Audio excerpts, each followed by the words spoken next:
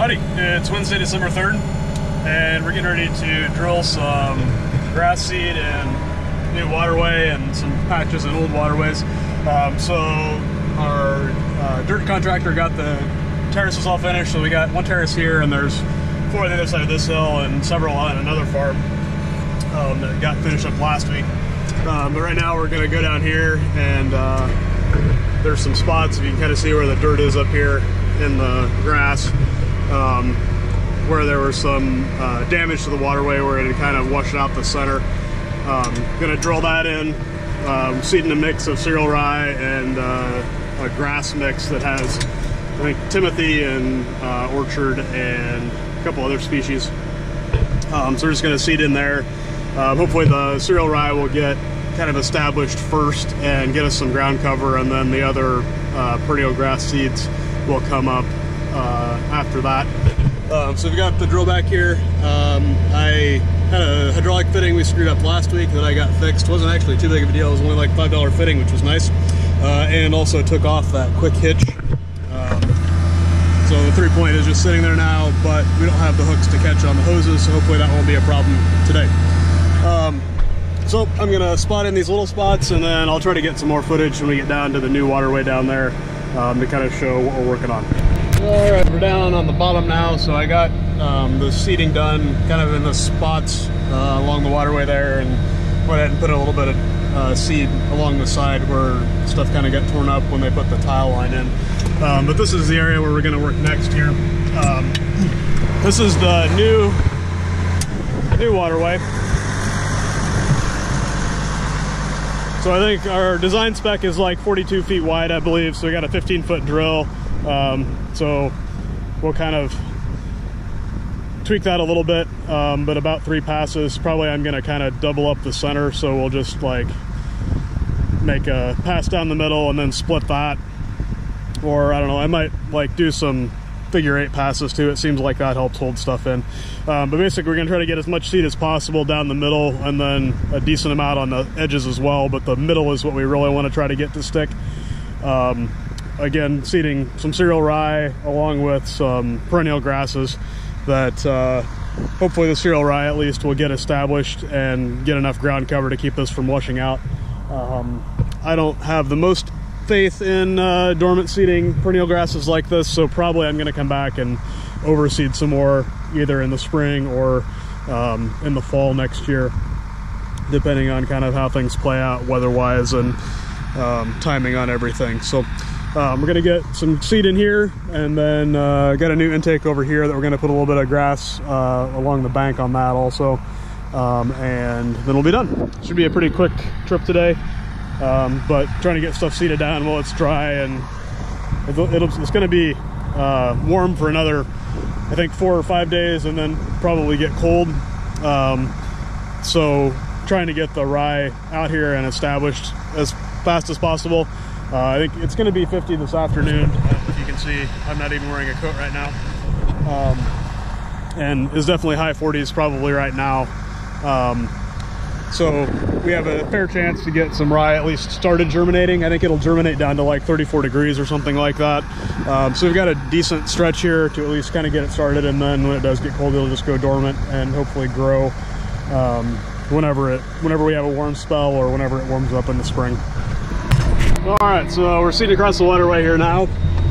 Um, not trying to go real deep because I don't want to stir up a whole bunch of dirt. Um, just trying to kind of get a little bit of contact with those coulters to break things up a little bit so that the openers will go in. And I think I did decide I'm just gonna do three passes um, straight up here to uh, kind of get my width established and then I'm probably gonna uh, definitely spot in some like down here where it cuts into the creek um, going across and probably like this last 50 or 100 feet I'll do some of that and then probably we'll kind of make some uh, weaving passes through the middle um, to double up that area that's going to see most of the water. Um, there's a pretty large area that comes through this waterway. Um, so uh, it's definitely at risk of erosion if we get a big rain or a fast rain, even if it's not real big.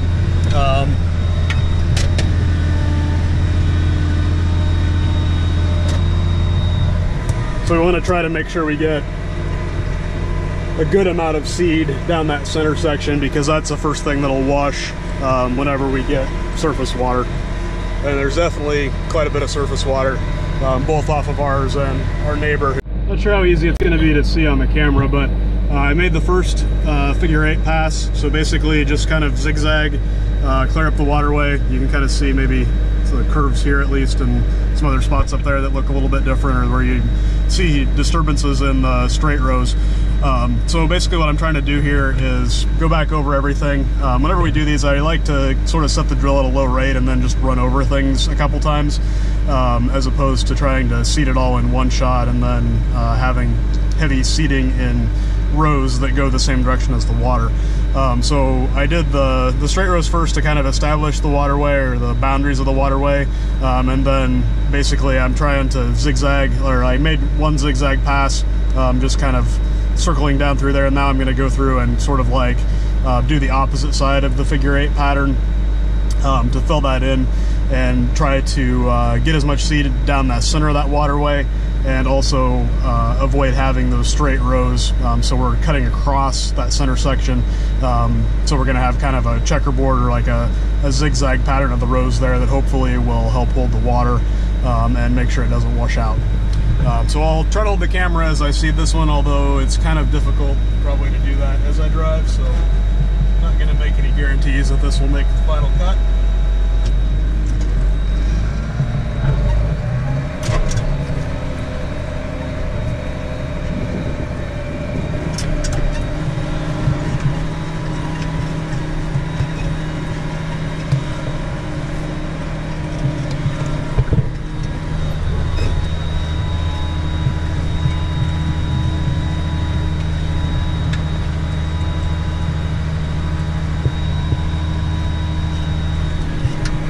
Here we can see there's one that comes around, so we're just gonna kind of split the middles, trying to hit um, so the right edge of the drill now, where the uh, opposite side was on the previous pass.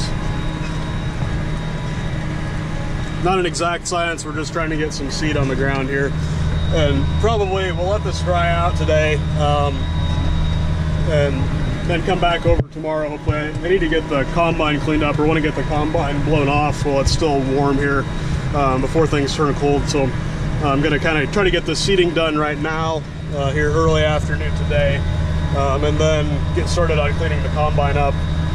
And uh, planning on coming back over tomorrow. We might hit this with a harrow depending on how dry it gets, um, but want to put some erosion control matting. So it's basically a kind of a straw mat um, with some uh, plastic mesh, I think, also, and kind of try to uh, fortify this end where the water's cutting into the creek. It kind of drops off um, pretty fast here at this end, um, and that's going to be sort of like the, the peak uh, flow also as far as like catching the water that comes off of this hill um, and everything. So usually the the first spots where you'll have problems are down the middle of the waterway. Um, we're just cutting out um, and then also like at the end where it drops off into the creek, you'll have it washed or cut back um, where you have kind of a, a, ditch started and we want to try to avoid that as much as possible um, to keep a nice flat bottom and get some grass there that the water can go over without taking the dirt with it. All right, I think we're done with the waterway. Uh, ended up doing uh, two passes or two pairs, I guess, of the zigzag passes or the figure eight passes. Um, so I should have run over everything at least twice, and some of the stuff in the middle probably has four, but that's okay because um, we want a lot of seed there. And if we have sort of like some areas with more seed and areas with less, um, that hopefully will help slow things down. Um, the soil right now is still pretty gummy and packed. Um, so we're going to let it dry off. Um, as you can see, we're kind of just trying to get the seed on the ground. Um, and then if we can get it dried off enough to where we can kind of break up some of these clumps. Right now everything is pretty smeared or um, dense, I guess, from being run over by the dozer. Um, we'll kind of run through there with that and break some of this up to give a little bit better seed to soil contact. Um, running it over a couple times, some of those earlier passes, obviously going over it with the drill the second time will give that some better seed to soil contact. So hopefully at least some of it will come up. Um, the cereal rye I'm not as worried about, but the actual perennial grasses um, seeding this time of year is kind of a long shot. I mean, you can kind of see here we've got the rye seeds, and then that's some sort of a perennial grass seed. They're right by my fingertip, the smaller seeds. But that's what we've got. Um, so we're gonna bring that straw matting over tomorrow and uh, also use that. So if we get it dry enough, we can hit it with the harrow. We'll do that first and then planning on kind of putting a piece of the straw mat uh, sideways across the waterway here at the end um, and then overlapping um, I think it's like eight feet wide, uh, overlapping a piece that would kind of go up the middle here, and then maybe also do some up at the top end there um, where it comes onto the new waterway off the old, because um, I think that that could be a spot that might have some erosion problems also. Um, so next spot we're going to hit is just do a little bit of seeding around this new intake here um, to kind of restore the grass on the ditch bank and uh, get some stuff established there. I'm going to have like one planter pass essentially between the intake and the bank, but there probably will be 10 or 15 feet of grass there um, so that if the intake can't take all the water away, it'll hopefully go over but not wash is the idea. We'll see how things work.